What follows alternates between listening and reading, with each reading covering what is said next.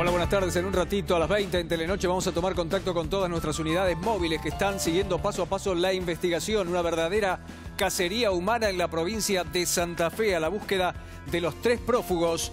600 efectivos de Gendarmería, Policía Federal y Policía de Seguridad Aeroportuaria y la Policía de Santa Fe los están buscando. Tenemos todos los detalles sobre estos operativos y se los contamos en un ratito a las 20. Quédese con nosotros.